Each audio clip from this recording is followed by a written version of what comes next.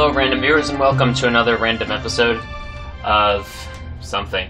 Um, I'm going to be doing another airplane build where I'm going to try to replicate a, a famous airplane of some sort. So, today I've selected the ME 163, which was the uh, German rocket powered fighter in World War II. And it, it was a pretty interesting one, and I'm, I'm going to try and build that. I'll give you a time lapse, and then we'll try and fly it.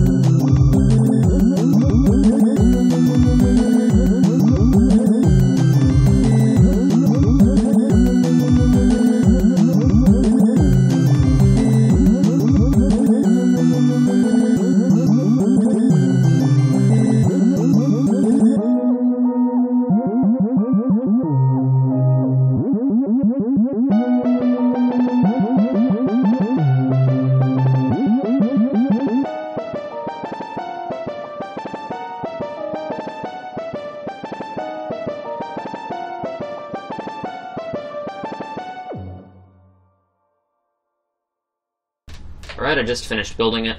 Um, so the real one had a little propeller on the front for electrical power. This thing's not going to be using electrical power. Editor, could you please put a real picture right here? And um, as you can see, it's it's not completely different. Um, yeah, no engine in the game is powerful enough, so it has three of these little engines embedded in each other. Uh, that's just because the real one used hypergolic fuel, and there's none of that in stock KSP. I mean, I have some Kerbal Engineer and en visual enhancement mods, but and joint reinforcement. But besides those, this thing would work in stock. Um, it's sitting on one of its wheels. That's okay.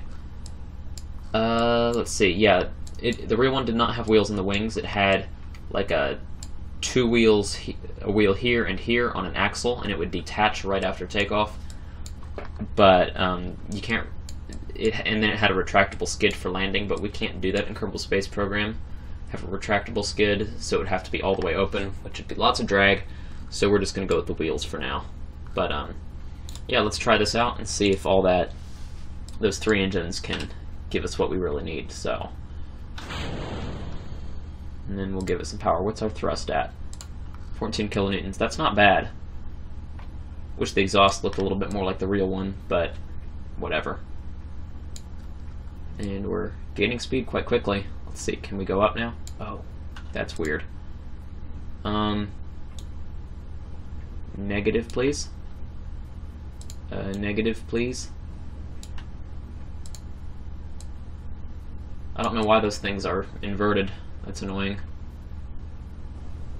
Oh, that's a bit much. Okay, this needs some work.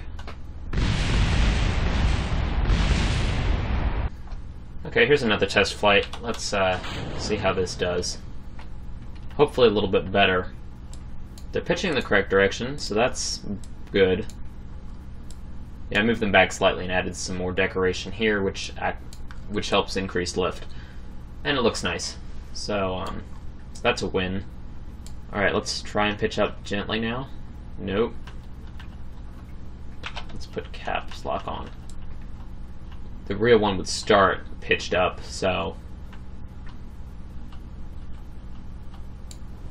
so that has a lot to do with it. Alright, um, can you go up now? Gently, please. Um, it really wants to pitch down pretty bad. How badly does this thing have to pitch up? Um, pretty bad. We can try making some edits to it, but let's see. Full power. And how quickly are we burning through that fuel? Pretty fast. I feel like the real one would have been a little bit louder. I Can't hear a thing with it. That's really unfortunate. It looks correct, though, besides the wing pods. And yeah, that's a little off and weird, but it would be blended better in the real one, but... I mean, it works. And yeah, that one would climb at about 70 degrees usually. 60 to 70 degrees straight up. This one can't exactly do that. Kind of slows down. Let's see what it can handle though. It just doesn't have the thrust to weight ratio. It's crazy. It's trying it's stalling. It just doesn't have the power that those hypergolic fuels provided. I bet as it burns fuel though, it gets a little bit faster. That's pretty good. We're at two minutes in and it still has fuel. Um, previous versions I tried to build would run out of fuel way too quickly. And, uh, yeah, that causes issues. But this one, this is a little better. You know, I might try the, uh, the other variants of these engines, because that might give us a different sound. Uh, and maybe more atmospheric thrust. Slightly less efficient, but I'll look at those. Oh, now that we have gained some altitude, now we're starting to get some of that power that I was talking about before. Let's see, it can climb at 50 degrees, I mean 45. Let's try 50. So I guess it's just some altitude. This These engines aren't built for low altitudes. So what this thing was would do, it was a bomber interceptor. They call it a fighter, which, I mean, it was. But, yeah, it would climb almost straight up like this at ridiculous speeds. As you can see, it keeps gaining speed. That's what the real one was kind of known for a lot. It just was incredibly fast and um, then it would shoot bombers. It had about one run at them, and then it would run out of fuel and have to turn back. kind of go up, shoot some, might turn around and might go in for another pass, but then it would definitely be out of fuel. Wow, four minutes of fuel. The real one had eight, but that's not bad for a Kerbal replica. So yeah, then at this point it would roll over, probably, and then go after those bombers, wherever they were. Wow, we're through the sound barrier, I think. And yes, because it had hypergolic fuels, it could actually stop its engine and restart it, which is something even a lot of modern spacecrafts cannot do. But they were able to do that during World War II, which is really impressive. So yeah, let's we're about to test its gliding capabilities. It's not behaving too well right now. It doesn't like the transonic region. We're just going to throttle back a bit. Oh, it's trying to do something. Oh, it's the thin atmosphere, that's the problem. Alright, let's kill throttle and uh, attempt to turn around. Oh wow, it's gaining speed fast. I shouldn't have gone that high up.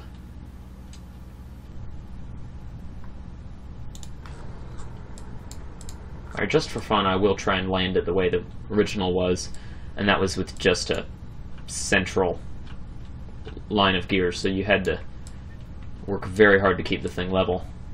Let's go and find a nice flat field. That's how the real one landed, too. It would look for a nice field.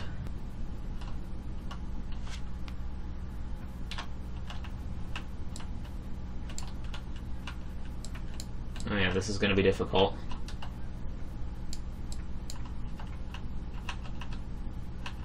Brakes. Please slow down.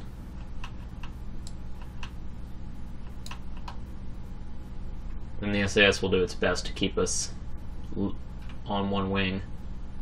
And then it catches on one wing and falls over. Look at that. That's really not bad. Alright, um, I'm going to make a few modifications and make it a lot more like the real one, and then we'll see what we can do.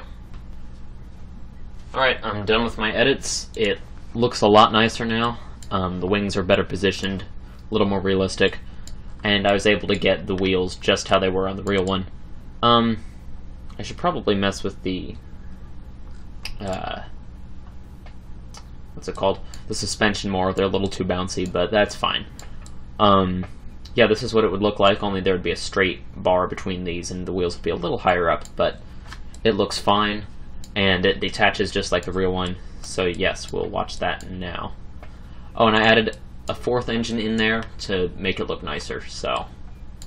And it also gives it the acceleration that it can climb properly. See, now the exhaust looks a lot nicer. And the motors are turned off on these wheels, so... Here you can watch the launch, just how it would happen for an ME-163 during World War II.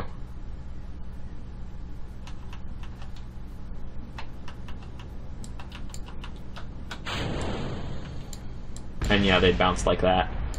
One of the big problems was those things bouncing up and actually hitting the plane. Uh, you can see Minmus there. But yes, this is... Oh, that's maneuverable. Oops. I must have modified it a little too much. Pitch up, please. Pitch up. I need to limit the authority of these. Sorry.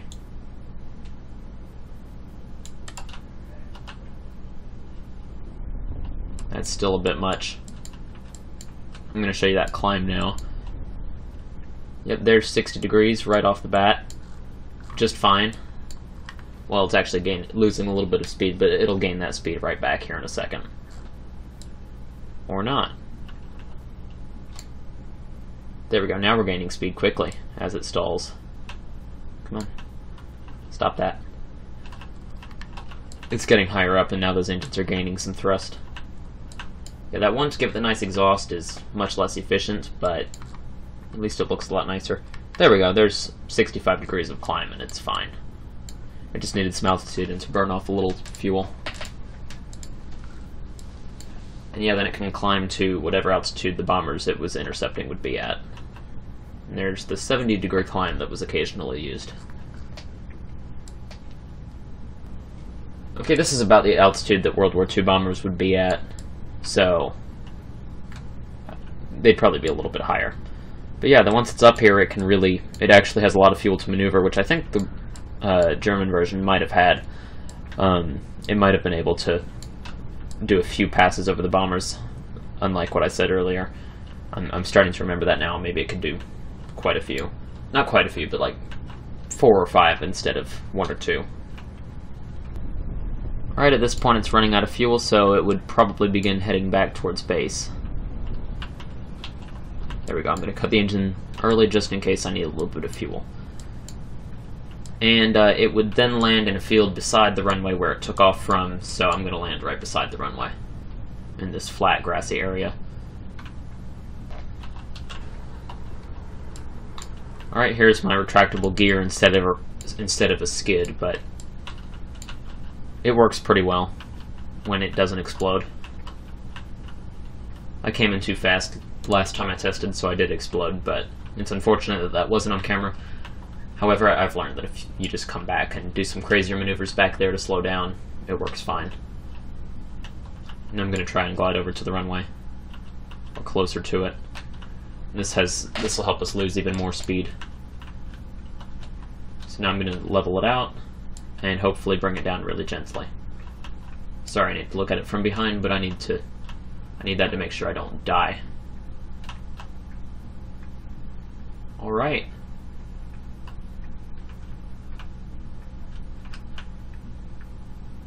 And there we go.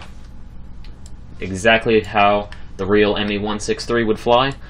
Uh, I, I, doubt you'll find many others in Kerbal Space Program that are this accurate. So, I hope you all enjoyed. Please do like, comment, and subscribe. If you're into World War II things, please do share this video and comment on whatever uh, replica aircraft you'd like to see next. So I'll see you next episode, and I hope you all have a very nice day.